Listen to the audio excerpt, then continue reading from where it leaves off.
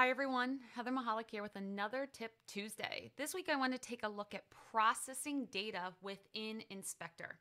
As I'm working on the CTF questions for our new release that's coming out in just a few weeks, I realize when I'm not finding something in my results, so if I look up here under actionable intelligence or communications, if there's something I'm not seeing, it's probably because I did not process it.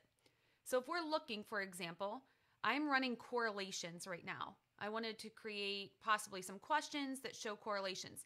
Now that I have that green checkbox that just appeared, it means when I go back into my evidence and click on actionable intel, or you're going through and you want to find things with different accounts or contacts, and you're clicking on things and then you go to correlation, you will actually have results.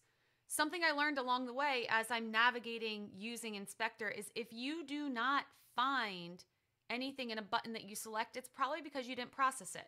For example, if you go to system and maybe you're looking at system logs or you're looking at different events, possibly you did not run the system logs or the event logs. So, a good way to always go back and verify is if you go over to evidence status and then you look at what is actually processed for that evidence, you will see that there's a play button for something that is left to be processed. So you can go through and run that data. So if I want to, for example, search for, let's say, mail, I can just press the play button.